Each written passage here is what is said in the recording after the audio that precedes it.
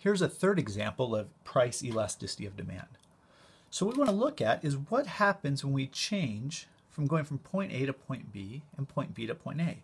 So remember that our equation for elasticity of demand is equal to the percentage change in quantity being driven by a percentage change in price. Well, what we showed in previous examples is that if I go from point A to point B, my elasticity of demand is 2. But if I go from point B to point A, now my elasticity of demand is 0.5 or 1 half. And so some might argue that going from A to B to B to A should not depend, should not be different. And so to account for this, the method that can be used is the midpoint method to estimate elasticity of demand. And this tells us that the percentage change in quantity is still Q2 minus Q1, but instead of using the starting point of quantity, we're going to use the midpoint, which is Q1 plus Q2 divided by 2. And for price, we still have P2 minus P1, but as we divide it, we're not going to divide it by the initial price, but rather the midpoint of the two prices, which is P1 plus P2 divided by 2. Now this is like inception, a division within a division within a division. Things get kind of crazy, buildings tip over, but we can handle that because it's a lot more intuitive than we might think. All right, so let's look at this example. All right, so we want to calculate this. So first thing we need to do is we need to calculate the midpoint between PA and PB.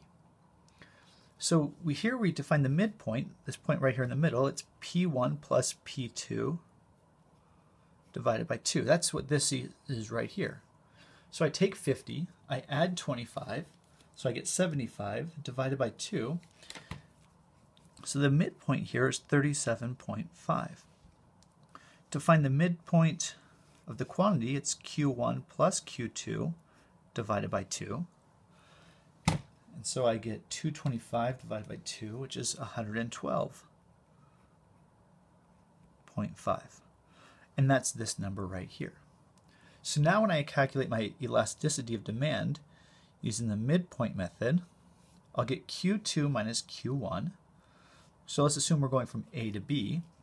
So in that case, Q2 would be 150 minus Q1, which is 75, divided by 112.5, because that's Q1 plus Q2 divided by 2, or the midpoint between the two.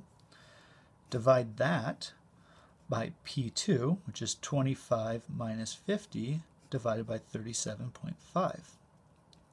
So here I get 75 divided by 112.5, or about a 60.67% change in quantity, divided by 25 divided by 37.5, or about a 0.67% change in price. And so this tells me that my elasticity of demand is equal to negative 1. In this class, we'll just call that, and using this book, we'll just call that 1.